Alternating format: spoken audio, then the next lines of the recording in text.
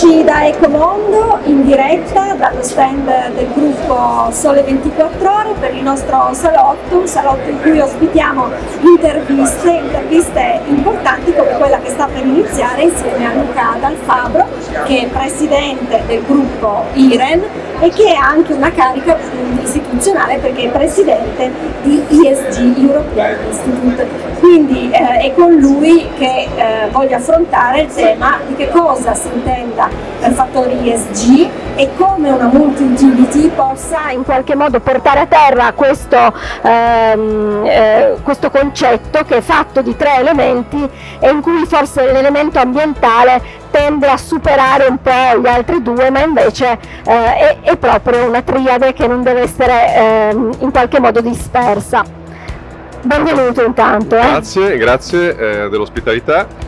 Eh, sì, il tema ESG è un tema eh, che oggi è ancora molto accademico, eh, ma in realtà è un tema di sostanza, nel senso che quando si parla di ambiente, si parla di impatto sociale e di impatto sulla governance, sulla gestione delle aziende, in realtà si, pa- si parla del, di un nuovo modello eh, di business, di un nuovo modello economico, dove eh, l'equazione eh, produco, uso e getta viene sostituito da un'equazione circolare rigenero, riutilizzo, gestisco le, aziende, diciamo, le sostanze e le risorse del pianeta in maniera più oculato, più attento, più ambientale, ma lo faccio anche da un punto di vista socialmente, eh, come dire, eh, accettabile, socialmente ad impatto zero, ehm, dando anche la possibilità di avere un impatto positivo alle azioni economiche eh, che avvengono nell'ecosistema. Quindi un ecosistema di business che ha nella trasparenza nel business, nell'impatto sociale positivo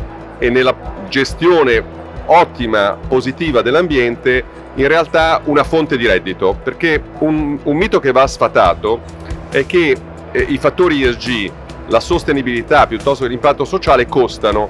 In realtà non costano.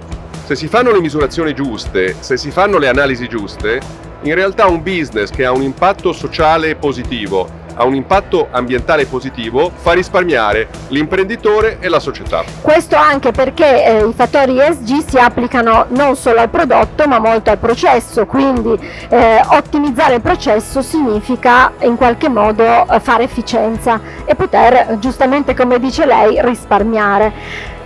Molto giusto, sì, eh, in effetti eh, rientrano non solo nella sfera del prodotto, eh, ma nella sfera del processo nei metodi eh, includono la diversità. È provato che un'azienda che ha un equilibrio di genere, di genere eh, maggiore ha anche una efficacia, una creatività maggiore.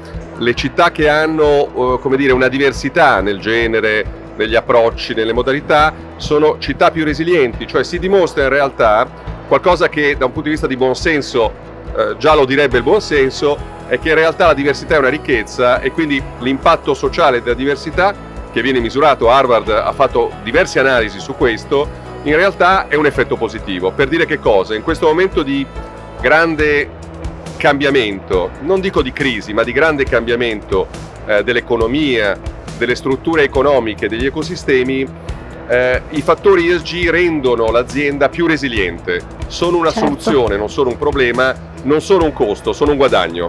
Non a caso voi avete un premio anche che dedicate a questo tema. Uh, stiamo lanciando e abbiamo lanciato un progetto verso i giovani, verso la ricerca. L'Italia non è un paese per giovani, non è un paese della ricerca.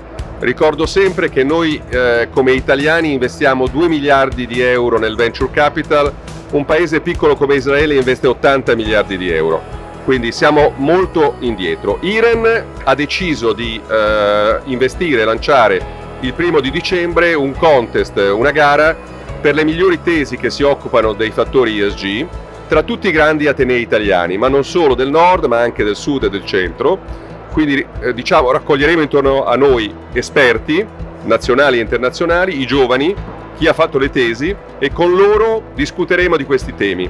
L'idea è quella di investire in due settori che a mio parere sono ancora un po' mh, sottogestiti, sottovalutati e anche un po' bistrattati in Italia, che sono i giovani e la ricerca.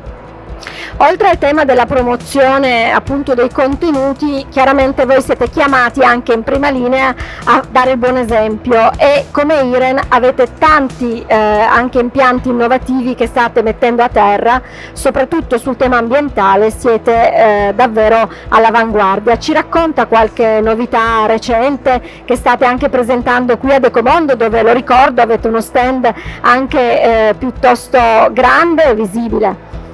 Ma ci stiamo muovendo su tutto l'arco dell'economia circolare, quindi dal recupero del legno, eh, legno che si raccoglie e che non si deve buttare in discarica perché ha un valore importante, abbiamo un impianto in Piemonte, dal recupero delle schede e del RAE, quindi stiamo costruendo un impianto ad Arezzo, ne abbiamo uno importante, molto innovativo che usi, utilizza intelligenza artificiale in Piemonte, al recupero dei materassi.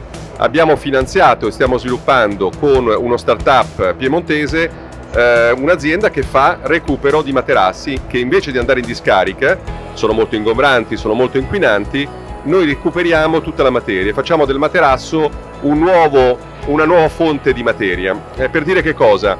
Eh, Iren è una di quelle aziende che oltre che investire nel territorio è più ingaggiata nell'investimento nell'economia circolare. Noi ci crediamo molto, io ci credo molto, eh, diciamo un po' la mia storia dimostra che credo molto all'economia circolare, ma ci credo perché non solo fa bene all'ambiente, ma gli imprenditori, l'economia, la politica, la ricerca devono capire che è una grande fonte di reddito l'economia circolare. Lo è oggi, lo sarà ancora di più domani. Grazie e soprattutto grazie perché è proprio dai big player che deve partire l'esempio che poi eh, deve a cascata coinvolgere tutti, anche le PMI e anche le start-up che voi coinvolgete nei vostri processi. Grazie, grazie per l'ospitalità. Un ultimo accenno, troverete su questa guida, io non ce l'ho qua non a caso, un intervento eh, di Luca Dal Fabbro in cui racconta proprio l'importanza degli ESG e questo è uno speciale che il Sole 24 Ore ha realizzato per Ecomondo. Grazie, grazie ancora e eh, di nuovo a presto tra poco qui in diretta con noi per altre e nuove interviste.